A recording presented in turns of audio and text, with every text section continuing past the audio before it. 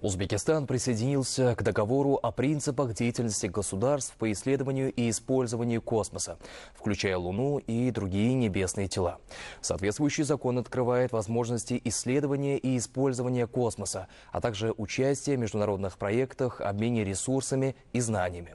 Вместе с этим президент подписал указ о мерах по внедрению аэрокосмических технологий в отраслях экономики в 2024-2026 годах.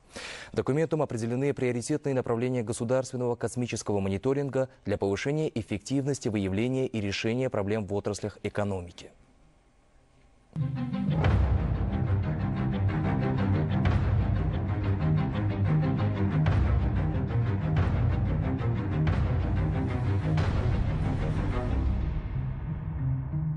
Аэрокосмические технологии – это область науки и техники, в которой изучаются и применяются радиофизические принципы функционирования, построения и проектирования аэрокосмических объектов, глобальных телекоммуникационных, навигационных и информационных систем на их основе. Данная отрасль за последние полвека трансформировалась в отдельную научно-исследовательскую, образовательную, инновационную и бизнес-систему. Появление и развитие рынка частной космонавтики создает конкурентную среду, в которой происходит борьба за наиболее эффективные предложения, способные решать все более сложные задачи задачи, стирая границы между государствами и выдвигая на передний план отдельные организации. Космонавтика настоящего времени может быть представлена как многомиллиардной космической компанией, так и студенческим проектом. Прогнозирование погоды, дистанционное зондирование, навигация, спутниковое телевидение и многое другое осуществляет свою работу при помощи космической техники. Такая наука, как астрономия, а также геонауки, опираются на сведения, поступающие из космоса. Прекрасно осознавая приоритеты данной области, глава государства подписал закон о присоединении Республики Узбекистан Узбекистан к договору о принципах деятельности государств по исследованию и использованию космического пространства, включая Луну и другие небесные тела. Подписание данного закона позволит и откроет новые возможности для участия Узбекистана в международных космических проектах, обмена опытом,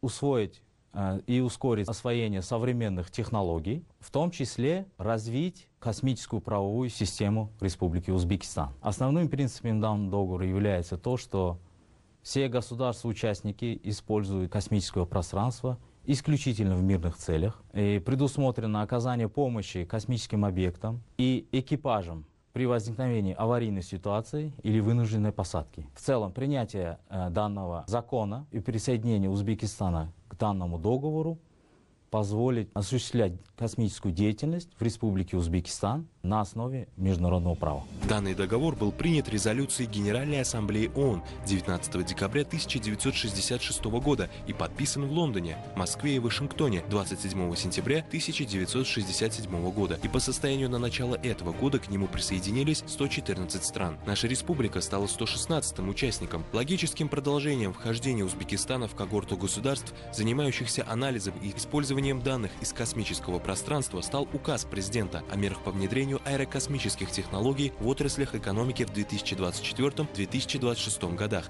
Президентом Республики Узбекистан особое внимание уделяется применению современных инновационных технологических решений для выявления проблем в отраслях экономики и их решению. В данном контексте подписанный президентом Республики Узбекистан указ предусмотрены приоритетные направления осуществления аэрокосмического мониторинга в отраслях экономики, а также дальнейшего развития космической сферы Республики Узбекистан. Также благодаря космическим данным будут определяться границы площадей, покрытых лесом, и вестись мониторинг их состояния. Помимо этого, можно будет легко узнать о случаях самовольной эксплуатации недр в сфере геологии, необоснованного использования в иных целях площадей залегания полезных ископаемых. Вопросы экологии и охраны окружающей среды с каждым днем приобретают все большую актуальность. Данным документом предусмотрены мониторинг заявления режимов уровня воды в водохранилищах, Документом утверждена а, программа развития космической отрасли на 2024-2026 годы,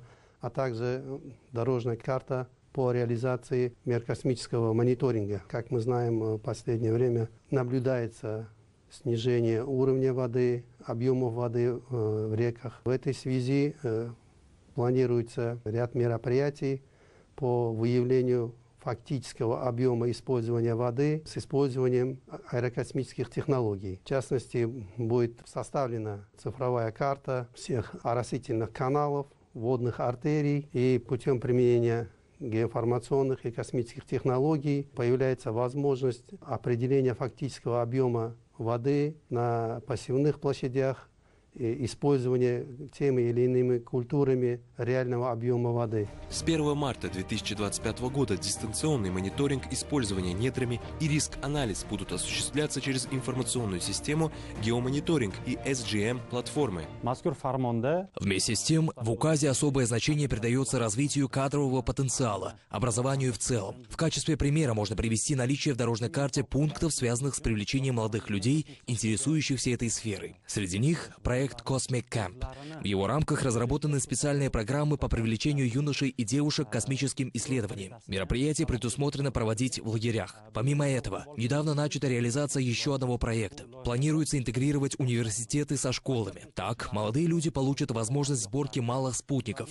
Будут проводиться конкурсы, которые намечается провести в 2025 году. В целом, использование спутников позволит оптимизировать посевные площади и определять наиболее подходящие культуры, а также рассчитывать необходимое количество воды для полива, что в свою очередь позволит прогнозировать расходы и потенциальную урожайность и на этой основе развивать как профильные, так и смежные отрасли экономики.